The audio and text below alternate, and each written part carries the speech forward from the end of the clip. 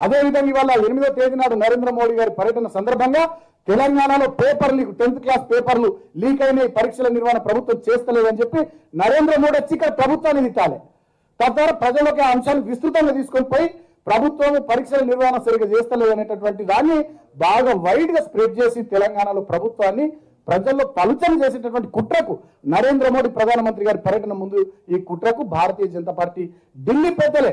ప్రధానమంత్రి అమిత్ షా సునీల్ బన్సల్ తరుణ్ చుగ్ వాళ్ళ ఆధ్వర్యంలో ఇక్కడ రాష్ట్ర బీజేపీ అధ్యక్షుడు ఉన్నటువంటి బండి సంజయ్ ఆధ్వర్యంలో ఈ కథ అంతా కూడా జరిగింది. ఇదంతా మంచి వండిన వంటకం. కానీ ఏం చేస్తాం? ధర్మాన్ని అంతిమంగా విజయం సాధిస్తుంది. వంటకం మంచిగా వండిరు కానీ కొంచెం దాంట్లో అవేటి వారు తక్కువైనట్టున్నాయి. అడ్డంగా దొరికిపోయారు. నిన్న వరంగల్ పోలీస్ కమిషనర్ గారు మొత్తం విషయాలు సవివరంగా తెలంగాణ ప్రజల ముందు వచ్చారు దేశం ముందు వచ్చారు కేవలం రెండు గంటల వ్యవధిలో ప్రశాంత్ అనేటటువంటి వ్యక్తి నూట నలభై రెండు ఫోన్ కాల్ చేశారు. అంతకు ముందు రోజు సాయంత్రం బండి సంజయ్ డైరెక్ట్గా ప్రశాంత్ అనేటటువంటి వ్యక్తికి ఫోన్ చేసిండు. దీని తదనంతరం నిన్న పేపర్ లీక్ అని చెప్పి ఆయన బ్రేకింగ్ న్యూస్ అని చెప్పి మీడియా వాళ్ళకు మీకు కూడా స్టేట్ మీడియా వాళ్ళకి పంపించిండు ప్రశాంత్. చాలా మందికి పంపించిండు. తర్వాత అందరికి కాల్స్ చేసిండు. కాల్స్ చేసిన దాంట్లో బీజేపీ ప్రముఖ నాయకులకు చేసిండు. బండి సంజయ్ కూడా కాల్ చేసిండు. గతంలో కూడా ఈ Rajasekhar Reddy Telangana state public service commission సంబంధించినటువంటి వ్యక్తి ఆయన పేపర్ లీక్ చేసి ఆయన కూడా బండి సంజయ్కి ఫోన్ చేసిండు. ఆయన కూడా బీజేపీ పెద్దలకు ఫోన్ చేసిండు.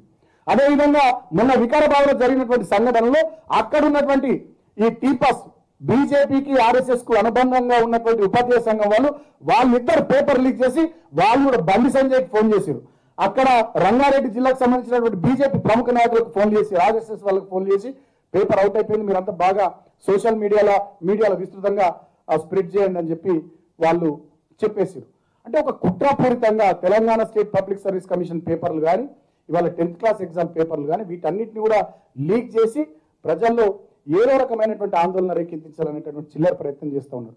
నేను తెలంగాణ ప్రజానికాన్ని ఆలోచించమని కోరుతా ఉన్నాను మేము తెలంగాణ కోసం పద్నాలుగు సంవత్సరాలు ఉద్యమం చేసినటువంటి పార్టీ. మేము దెబ్బలు తిని మేము జైళ్ళకు పోయి మేము అనేక కేసులు భరించి కేసీఆర్ గారు చివరికి చావు నోట్లో తలబెట్టి ఆయన పదకొండు రోజుల పాటు ఆమరణ నిరాహార దీక్ష చేసి చావడానికి సిద్ధపడి తెచ్చినటువంటి తెలంగాణ రాష్ట్రం ఇది. ఈ తెలంగాణ రాష్ట్రంలో మీ దయతో ప్రజల దయతోని మొదటిసారి అరవై మూడు సీట్లు రెండోసారి ఎనభై ఎనిమిది సీట్లతోని ప్రభుత్వాన్ని ఏర్పాటు చేసుకొని ప్రగతి పథంలో బ్రహ్మాండంగా ముందుకు పోతున్నది తెలంగాణ. ఇవాళ ఫాక్స్కాన్ లాంటి కంపెనీ వస్తే భారతీయ జనతా పార్టీ కళ్ళు మండుతూ ఉన్నాయి. తెలంగాణకు పెట్టుబడులు వస్తూ ఉంటాయి. తెలంగాణలో ఇవాళ ఎండాకాలం ఏప్రిల్ నెలలో కూడా చెక్ డ్యాంలలో మత్తలు దుంకుతూ ఉంటాయి చెరువులలో మత్తలు దుంకుతూ ఉంటే చెక్ డ్యాంలలో నీళ్ళు దుంకుతూ ఉంటే ఇవాళ కూడేలి వాగు పెద్దవాగు లాంటి చోట్ల వాగులు కూడా తెలంగాణలో ఎండాకాలం పాటు ఎండాకాలంలో నీళ్ళు పొంగుతా ఉంటే బీజేపీ నాయకుల కళ్ళు మండుతా ఉన్నాయి. వాళ్ళ దేశంలో ఎక్కడ లేనట్టుగా పెద్ద ఎత్తున వరి సాగు తెలంగాణలో పెరుగుతా ఉంటే బీజేపీ నాయకుల కళ్ళు మండుతా ఉన్నాయి. ఇవాళ తెలంగాణలోని వాళ్ళు